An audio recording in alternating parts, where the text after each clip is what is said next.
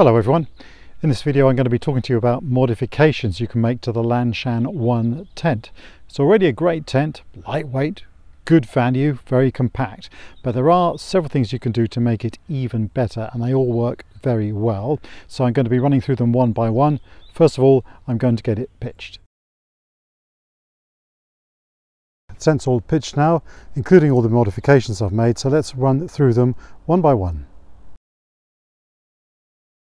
Let's start off with the most common, biggest modification that uh, is uh, very well known, and that's to do with the main uh, guy lines now.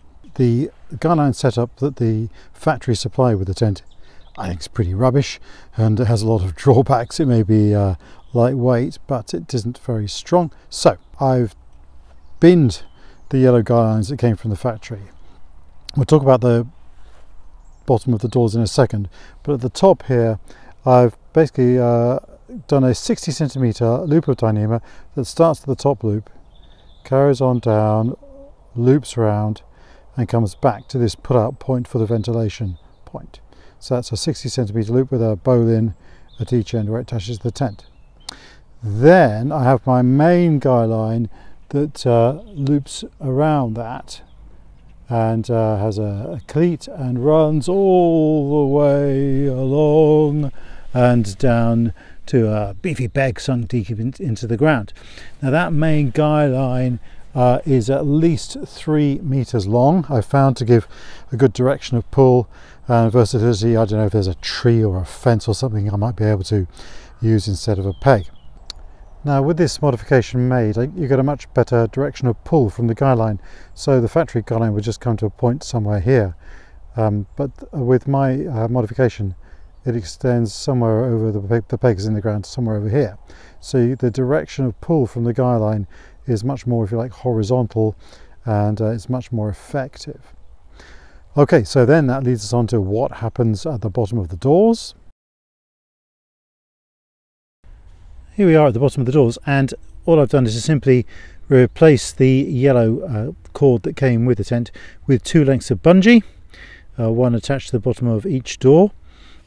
Now, um, you may ask why there are different colours of bungee. I'll tell you why. If they're sharing a peg, in particular, it's uh, quite handy to know which bungee is attached to which door. I tend to open the uh, right hand door, if you like, more often than the left. So I have a thinner length of black bungee attached to that door and because the other one is uh, left sort of attached more often and is more critical to the pitch of the tent I have a slightly thicker length of white bungee going to that door. I've looped the bungee through the tab at the bottom of the door twice and that gives me some choices. If I'm uh, setting the tent quite high for good ventilation then I can just have one length of bungee stretching out but in uh, more uh, windier weather or whatever in the winter when I've got the tent set lower I can uh, double up the bungee length around the peg and that allows me to set the tent a whole lot lower and be more strong. And whilst we're talking about the bungees at the bottom of the door uh, I've also um, attached a little carabiner to the bungee and that means that if I open up the door for ventilation or whatever or cooking I can just clip this carabiner over the uh, side guy line or something like that and that holds the door open really nicely for me. Uh, a little tip uh, for the Lanshan 1, it's particular to the Lanshan 1 because the Lanshan 1 has a uh, peg out point at the middle of the rear of the tent and when you're unpacking the tent, and particularly in windy conditions, it's quite important to know which peg out point that is. Uh, firstly, so you don't uh, assume it's one of the corners and get all muddled up. But also, if it's windy, you really want this uh, side facing into the wind. So if you peg this point out first, the tent will naturally blow into the correct direction. And so what I've done is on this peg out point, attached a little loop of uh, coloured cord so I know when I'm unpacking the tent that's the one that needs to be facing into the wind. Most people are fully aware of the idea of using the spare walking pole, if you like, when you're pitching the tent, uh, to uh, tuck underneath the guy line at the rear to create a nice direction of pull to create more interior space.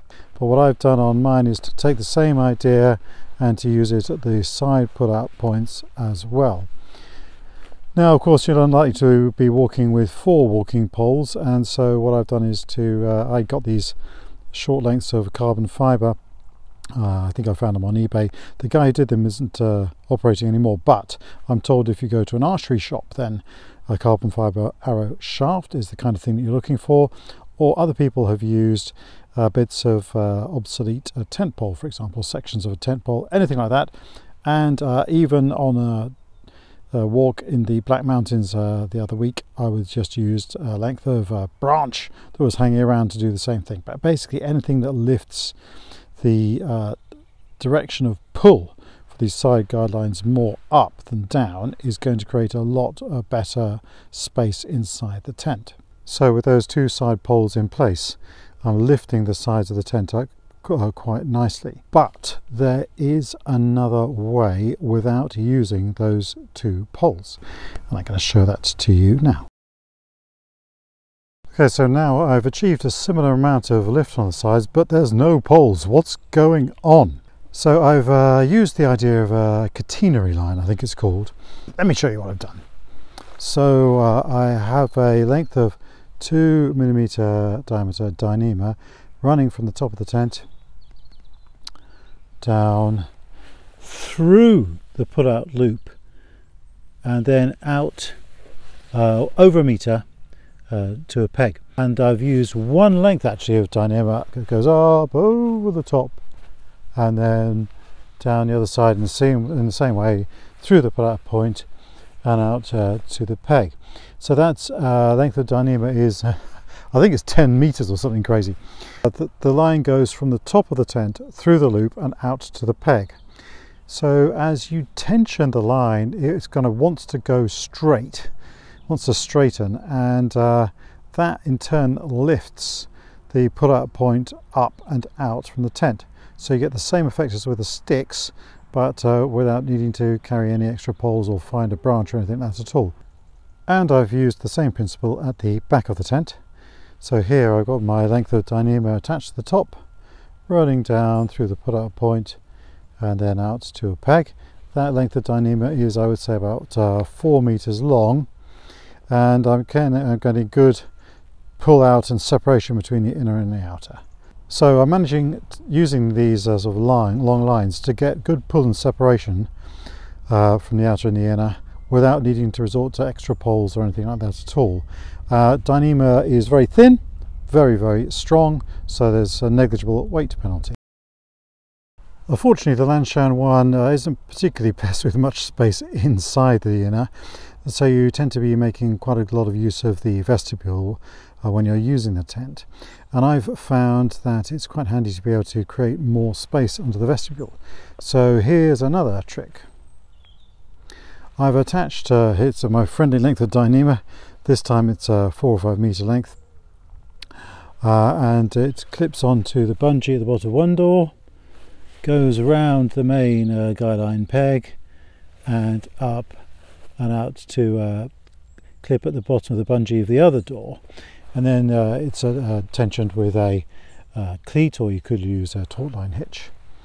And when that's pulled up it pulls the doors up and out and creates a hugely improved and increased uh, space uh, under the vestibule. So um, this would be very good in, uh, in hot conditions uh, to create some more shade. Uh, it would be quite good in uh, rain as well when you wanted to do some more packing and using of the vestibule. And if you want to, you can sort of go for a half and half measure. So by releasing that extra guy line a bit and closing the zip half, I've created a half and half so I've got lots more space under the vestibule but I'm still nicely sheltered from any wind and rain. In the middle of the front of the uh, bathtub on the tent uh, there is a pull-out point here and that helps to get the uh, floor of the tent nice and flat but um, it can be a real uh, the factory has a loop thing that goes uh, I think probably supposed to go around underneath the pole. That's a, a, bit of a problem if you want to take down the inner first and if there's a lot of tension on the pole it's a bit of a pig so what I've done is to attach a length of uh, nice bright yellow bungee and uh, run it to a clip. Now this is the type of clip that you see used on tents that pitch inner first and it hangs the inner from the poles on the tent. So it's a simple sort of uh, question mark type shape. And you can just run it out uh, when you're pitching the tent wherever the, to the pole wherever it is and it's on a bungee then it doesn't you know matter exactly how long it needs to be. And just clips on really neatly no more faffing around trying to uh, lift up the pole to wedge the strap underneath so let's talk about the way that the inner attaches and hangs off uh, at the apex of the tent now in the middle of a trip to the Black Mountains a couple of months ago the clip that comes from the factory broke on this and the inner collapsed onto the head of my young son. That wasn't very good. So um, I would strongly suggest replacing that plastic clip that comes with the tent with something a little better. I've got one of these little cheap, quite lightweight uh, black uh, carabiners. But I've still got that attached to the top of the tent with a length of bungee uh, knotted in a, a double loop and knotted. And that's because my son tends to bounce around inside the tent and so a little bit of shock absorption is probably quite a good idea.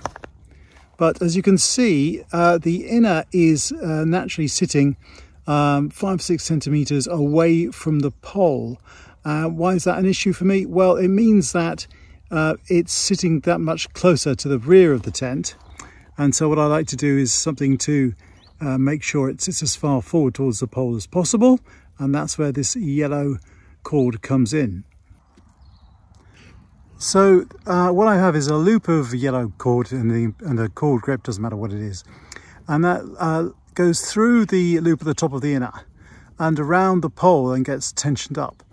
And uh, so that means that the inner is held just that bit further away from the outer and I get much better separation between the inner and the outer, especially at the top of the tent. That's just a short length of cord and a cord grip. Now we've moved into the inner of the tent and uh, this is where I think we can make quite a big difference. Now, even though I've pitched this very carefully and tensioned it up nicely, uh, there's no getting away from the fact that the inner of Lanshan tents is prone to uh, sort of sagging a bit and, and being a bit loose and that means it can flap around, especially in winter conditions. It's a bit of a nuisance. So anything you can do to sort of tighten up the inner to stop it flapping around is a good thing. So uh, you can see it's just a bit, it's just a bit loose at the moment. And this is uh, where there's quite a neat, simple uh, modification you can make. So let me talk to you quickly about what I've done. I used this double seam. I made a small incision uh, at uh, one point and ran a length of bungee and it comes out at a similar incision at the bottom here. Then it goes through a uh, cord grip and that means that I can um, tension up or add extra tension to these corner seams of the tent. So uh, with those uh, installed at every corner of the inner, um, I can apply a little bit of extra tension. I've pulled the bungee uh, through the cord grip a little bit and that's tightened up uh, each corner of the tent and it means it's not flapping around nearly as much so that's a real boon in uh, windy conditions and it's cheap easy and lightweight uh, it's going to need eight small cord grips and a meter or two of two millimeter bungee another way of creating a bit more space inside the tent is to link the uh, tie up or wrap up points for the doors on the outer and the inner. They are adjacent, so it works really neatly, and that creates a, a nice cons constant gap between the inner and the outer. So here I've got really good separation, and I've maximised the space inside the tent. And if you're wondering if I've done that, how I hold the doors open, well, these are my trusty clothes pegs. You don't have to use such gaudy colours, but actually there is a benefit if you bright colours make them much easier to find in long grass if they fly off at a random moment. So beefy uh, tent pegs. These are very, very light plastic ones, quite durable. And you'd be surprised how many other uses they have around uh, camp, uh, principally sort of pegging uh, wet socks onto a guy line to dry them out overnight or something like that. So you might have noticed uh, the footprint that I've got on this tent at the moment. You can buy a footprint uh, that's from the manufacturers that's made to measure. It's a pretty good value and it's quite durable weighs uh, something around 100 grams off the top of my head I think. Um, but you can make your own footprint from Polycro and that's this clear sort of plastic sheeting you can see here. Now Polycro plastic is commonly sold for secondary glazings or DIY kits from uh, B&Q and the like. I'll put a link to um, Amazon selling it uh, in the description. It's quite a tough plastic. It's very uh, durable and relatively cheap as well. And it comes in sheets of about two meters long by 1.5 meters wide, and you just cut it to shape. And uh, because it comes in a roll that's 1.5 meters wide, um, it allows you to uh, do what I do, which is to have a little bit of the footprint protruding in front of the tent. And this is a godsend. Um, I don't know about you, but when I'm getting in and out of the tent, uh, taking off my shoes, putting on my shoes, or cooking or whatever, uh, to have a bit of a, a, dry space where you can stand on or protected from the mud is an absolute boon. You need to cut a slot, of course, to allow you to put the pole in place. And here I just put a length of uh, duct tape on the polycro before I cut the slot, which is the most neat way of doing it. And it is dead simple. Also worth mentioning that the Polycro is about half the weight of the factory footprint, so if you really are gram saving, that's an extra benefit as well. Right, pay attention Bond, this is where it gets interesting. So I like to be able to detach the inner and pack it away first, especially in windy or wet conditions or uh, anything like that. So uh, if I do that, it's really nice to have the footprint still in place, to somewhere to sit on if you like. And that also means I can use the outer and footprint on their own as a little temporary shelter uh, on the trail in bad weather. So what I have done is to change the attachment of the bathtub and the footprint uh, to the outer. So I have a length of bright yellow Dyneema that's looped through the same loop at the end that the peg goes through. Uh, that's attached with a bowline. Uh, it has a taut line hitch on it. I'll talk about taut line hitches in a second. And that goes to a bungee that in turn is taped to the footprint. So the footprint is permanently attached uh, at the same time as the outer. So when the outer goes up, the inner goes up at the same time automatically and will be in the right place because of the bungees and the uh, length of the cords. Then the inner is attached to that same bungee using a, a little uh, carabiner clip. So if I want to take down the inner first, I can simply unclip it from the footprint and that can come down solo. But in normal conditions, it's uh, left attached. So that means that the inner, the outer, and the footprint go up as one and they are kind of automatically in the right position. So that just needs some lengths of Dyneema, a few lengths of uh, bungee, and uh, five small carabiner clips. That saves you hours when you're pitching the tent. Now here um, I've used a taut line hitch. Uh, you could use a, a normal cleat um, of any kind that you do particularly like. The taut line hitch does the same job. Um, it's a particularly useful knot and uh, I think here I'll put up an image uh, that shows you how it's tied. Once you get the, the knack of it, it's really useful.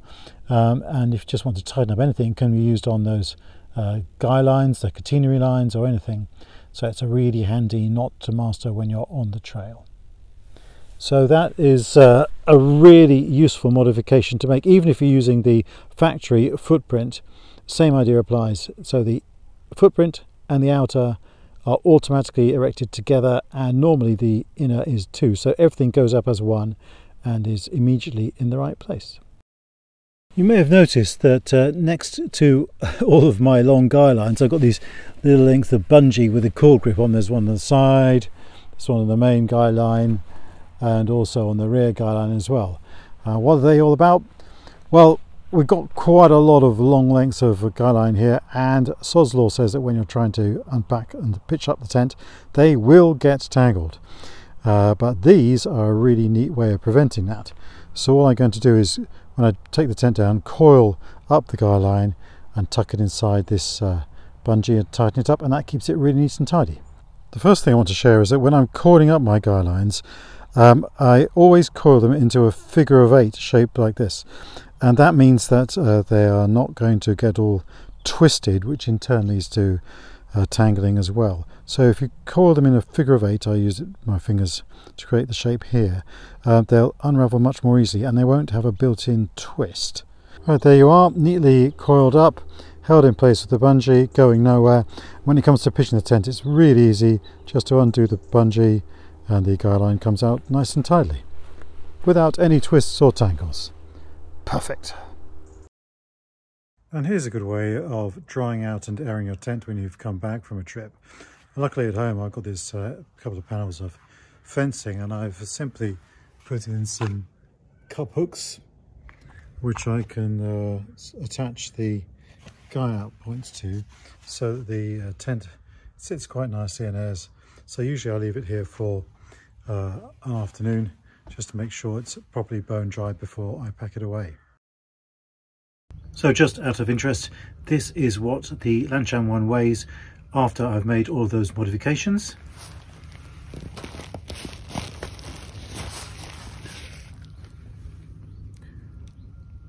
Just over a kilo. Uh, that doesn't include pegs. So that's it. My suggestions for you how you can modify your Lanshan 1 tent to make it better and more easy to use and I hope you find some of them useful. Let me know how you get on with them. I've also made a video about how to pitch the Lanshan 1 because it can be a tricky thing. And in the meantime, there's also loads of videos about uh, walking adventures, particularly using the Lanshan tent on my channel. So subscribe if you want to see some more of those.